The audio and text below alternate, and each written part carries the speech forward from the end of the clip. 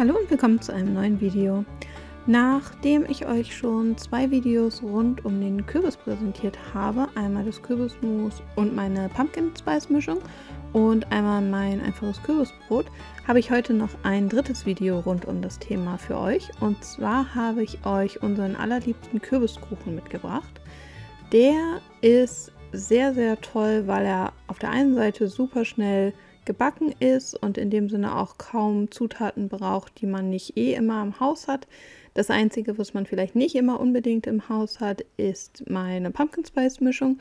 Aber falls ihr da nochmal reingucken wollt, das Video verlinke ich euch hier oben in der Ecke nochmal.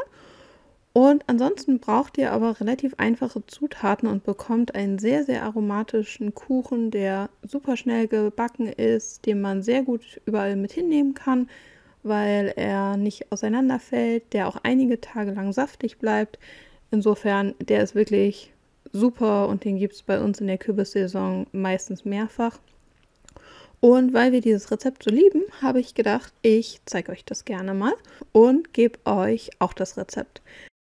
Im Hintergrund hört ihr manchmal ein bisschen Penrose, also da müsst ihr euch nicht wundern, den habt ihr jetzt ja schon in ein paar Videos gesehen. Der ist immer dabei und möchte auch ein bisschen kommentieren. Hier auf den Bildern seht ihr noch ein bisschen Impressionen vom Garten meiner Eltern. Da ist der Herbst natürlich auch sehr angekommen und ihr seht hier die Hagebuttensträucher. Hagebutten ist übrigens auch so ein Thema. Dazu kann man sehr gut auch was verarbeiten und Rezepte zeigen. Falls ihr daran Interesse habt, sagt mir sehr gerne Bescheid. Das machen wir auch sehr gerne. Wenn ihr daran Interesse habt, schreibt es gerne. Und am Ende von dem Video werde ich euch auch noch ein paar ihrer Tiere vorstellen. Also wenn ihr das sehen wollt, bleibt auf jeden Fall gerne dran. Als erstes beginnen wir aber jetzt hier einfach mal mit diesem Kürbiskuchenrezept und noch ein, zwei Impressionen von unserem Kater Penrose, den ihr, wie gesagt, jetzt schon ein paar Mal auch gesehen habt. Der findet das immer sehr, sehr spannend, wenn da die Kamera steht und muss natürlich auch mal Hallo sagen. Genau, und wir beginnen jetzt aber mit dem Rezept. Und zwar brauchen wir dafür Mehl. Dann brauchen wir Zucker. Am besten nehmt ihr für dieses Rezept braunen Zucker. Ich nehme meistens aber tatsächlich eine Mischung aus braunem und weißem. Da kann man aber ein bisschen hin und her experimentieren. Dann haben wir hier Salz und nochmal den Kater, der auch nochmal kurz gucken möchte. Dann brauchen wir zwei Eier. Dann brauchen wir die Pumpkin Spice Mischung. Wie gesagt, den Link findet ihr hier oben in der Ecke, falls ihr das Rezept noch braucht. Dann brauchen wir eine Tüte Backpulver und Kürbismus. Dieses Kürbismus haben wir ja auch schon in einem Video quasi hergestellt zusammen.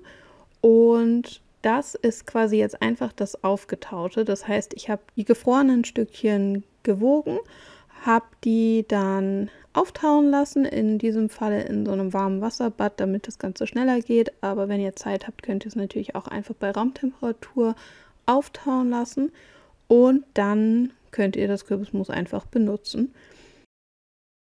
Falls ihr genau auf die Waage geguckt habt, habt ihr gesehen, dass ich nicht nur die 250 Gramm benutze, die eigentlich im Rezept stehen. Ich muss aber sagen, ich bin da nicht ganz so genau und meistens nehme ich ein bisschen mehr Kürbismus und einfach so, wie das mit diesen gefrorenen Stückchen hinkommt, da muss man nicht auf jedes Gramm achten. Das macht überhaupt nichts und das stört im Kuchen später dann auch gar nicht. Insofern macht euch da keine Sorgen, falls ihr irgendwie 10 oder sogar 20 Gramm zu viel oder zu wenig habt. Das ist gar kein Problem. Weiter geht's dann mit etwas Butter oder Margarine. Die habe ich schon mal in diese Rührschüssel gefüllt, einfach nur damit sie zimmerwarm werden kann. Und dann geht's los. Dann kommen die, wie gesagt, 250 Gramm, bei mir ein bisschen mehr Kürbismus dazu. Auch das Rezept habe ich euch ja schon in einem Video vorgestellt. Schaut da gerne auf dem Kanal. Das sind die ganzen letzten Videos einfach.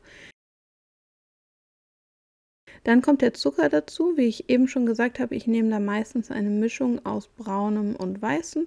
Das ist einfach so das, wie es uns inzwischen am besten schmeckt, aber probiert da gerne ein bisschen hin und her. Ihr könnt auch nur weißen oder nur braun nehmen. Dann brauchen wir etwas Salz.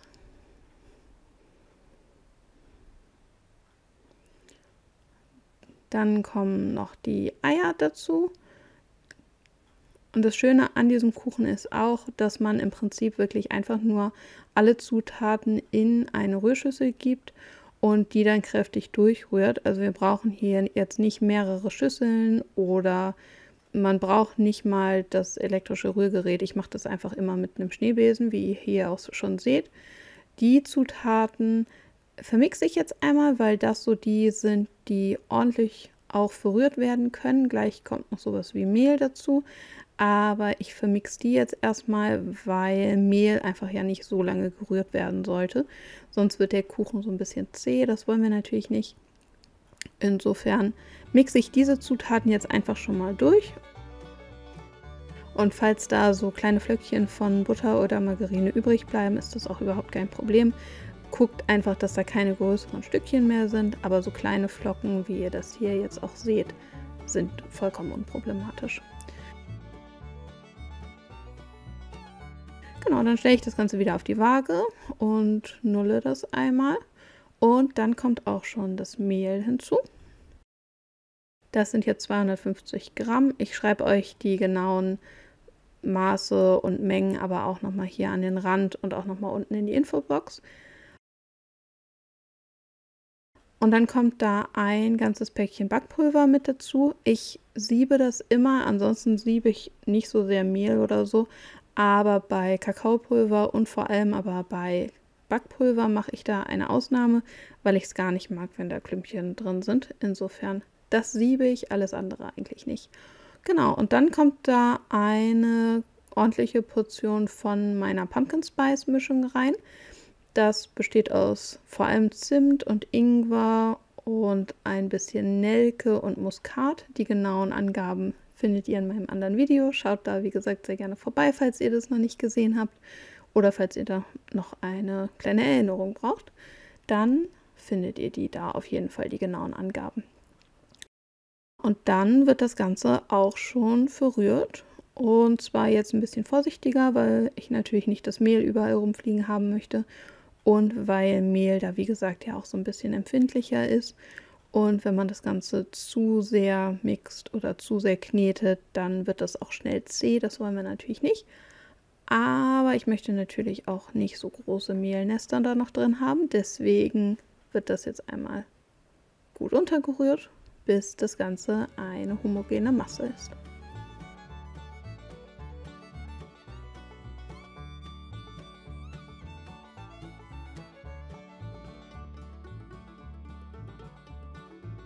Der fertige Teig sollte so zähflüssig sein, also der ist nicht richtig flüssig, der ist aber auch auf gar keinen Fall fest, sondern hat, wie gesagt, immer so ein bisschen auch eine andere Konsistenz, je nachdem, wie das Kürbismus ist. Man hat ja auch manchmal ein bisschen festeres und manchmal ein bisschen flüssigeres oder wie gesagt, ich benutze auch manchmal ein bisschen mehr, manchmal ein bisschen weniger.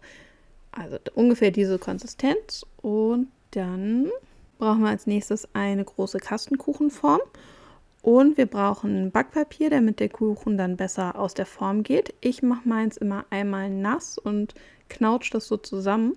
Das hat den Effekt, dass man das danach wirklich perfekt in diese Formen legen kann. Anders als wenn man versucht, das einfach, wenn das trocken ist, da rein zu tun. Insofern, das ist mein Trick, den ich auch schon bei dem Kürbisbrot erwähnt hatte. Aber das funktioniert wirklich sehr gut und das mache ich hier natürlich bei dem Kuchen auch. Und wenn wir die Form so ausgekleidet haben, dann kommt einfach der Teig damit rein. In der Zwischenzeit kann man schon mal den Backofen auch aufheizen, bevor man den Kuchen hier in die Form tut, damit er schon ein bisschen heißer wird. Und der Kuchen wird nur bei 160 Grad gebacken. Das ist relativ kühl für so einen Kuchen. Allerdings ist das Gute daran, dass er dadurch wirklich sehr, sehr saftig bleibt. Und nach ungefähr einer Stunde und wenn der berühmte Zahnstocher da krümelfrei rauskommt, ist der Kuchen fertig und kann dann einfach in der Form ein bisschen abkühlen und kann dann entweder direkt geschnitten werden oder wie gesagt da auch noch ein, zwei Tage in der Form einfach bleiben. Der bleibt sehr, sehr lange saftig. Das ist wirklich toll und ist ein großer Vorteil auch an diesem Kuchen. Und jetzt seht ihr hier auch noch ein paar Anschnittbilder, damit ihr auch noch eine Vorstellung bekommt, was für eine Konsistenz er hat. Das war, wie ihr seht, einer dieser richtig schönen Oktobertage, wo es nicht so warm ist, nicht so kalt. Sehr schön sonnig gewesen, aber halt nicht mehr so heiß. Das mögen wir sehr, sehr gerne. Der Oktober ist einfach ein toller Monat. Und am besten natürlich, wenn man dann auch noch im Garten ein bisschen Kürbiskuchen essen kann. Das ist doch eine perfekte Kombination.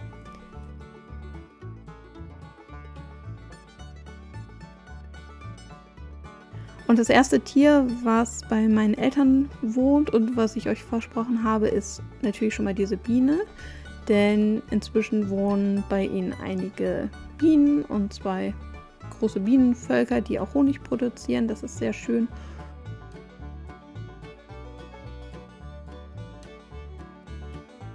Und dann ist das hier noch Katze Mini, die ein bisschen irritiert davon war, dass wir so sehr nach anderer Katze gerochen haben. Das fand sie nicht so toll. Die wohnt noch nicht so lange dort, deswegen kennt die uns noch nicht so gut. Und dann haben meine Eltern auch noch zwei Hunde. Das sind Bedlington Terrier.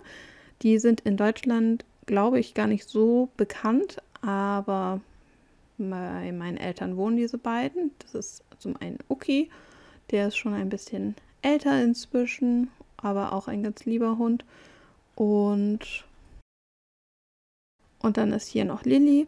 Das ist eine Hundedame, die auch schon inzwischen nicht mehr ganz jung ist und die ihr hier seht, wie sie sich ein Nest baut. Also sie versucht hier nicht auf Toilette zu gehen, keine Sorge. Die baut sich nur ein Nest, um sich dann dahin zu legen und auch noch ein bisschen die Sonne zu genießen.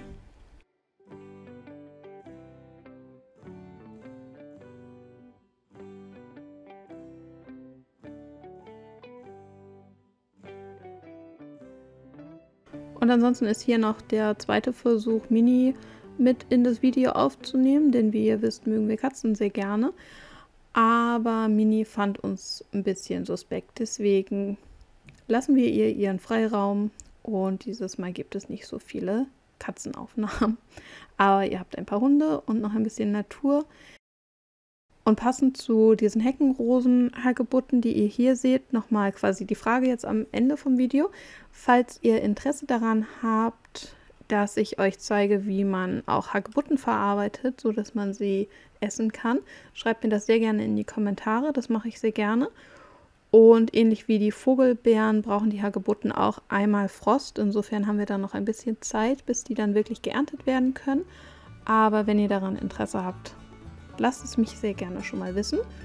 Und mit diesen floralen und noch ein bisschen Stockbrotaufnahmen ist das Video dann auch schon vorbei. Ich hoffe, euch hat das Rezept gefallen und ihr macht es mal nach.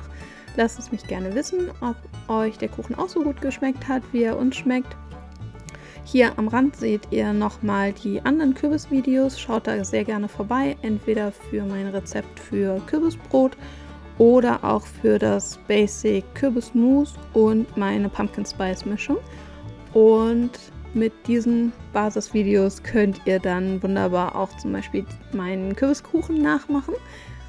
Und dann bis zum nächsten Mal. Liken und abonnieren natürlich nicht vergessen. Bis dann!